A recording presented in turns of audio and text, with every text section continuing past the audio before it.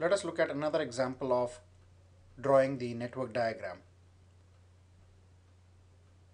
We have been given activities from A through H for a project along with their immediate predecessors. Now activity A does not have any predecessor so activity A would be the starting activity of the project. So let's start drawing the network diagram. So we'll first draw the start node. Let's say this is the start node and from this node we'll draw activity A. So we have completed activity A.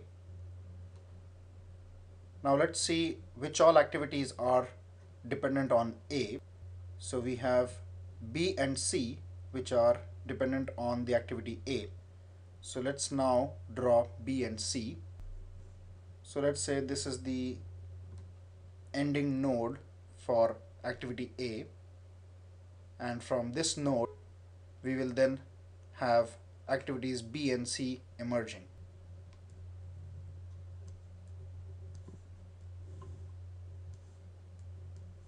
so we have completed B and C. Now activity D is dependent on both B and C. Now let us draw the ending events for B and C. Now D is dependent on the completion of B and C and B and C are emerging from the same event.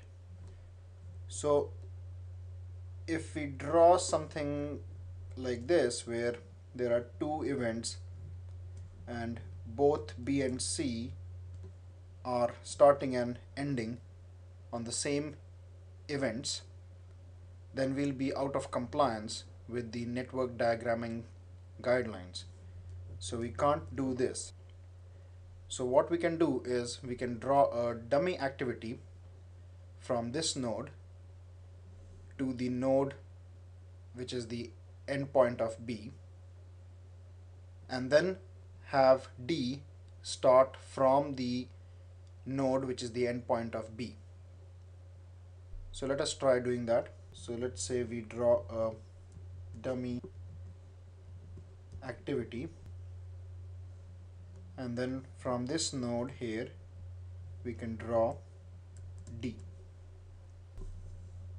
So this way D is dependent on the completion of activity B as well as completion of activity C. So here we have completed drawing activity D. Next is activity E which is dependent on the completion of C. So let's draw that. Let's say this is E. So we have completed E. Next is F which is dependent on D. So let's draw this.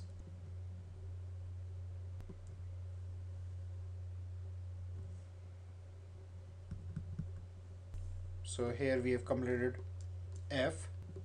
Next is G which is dependent only on E. So let's draw this.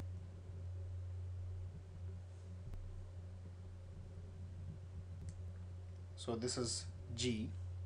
So here we have completed G. Next activity is H which is dependent both on F and G. So F and G.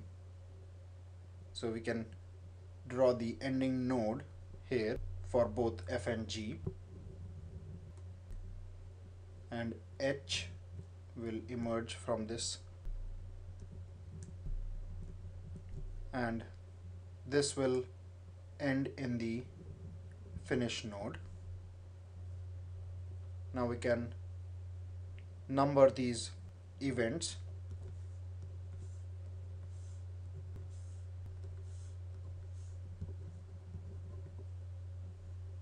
So this is the network diagram for the project given to us.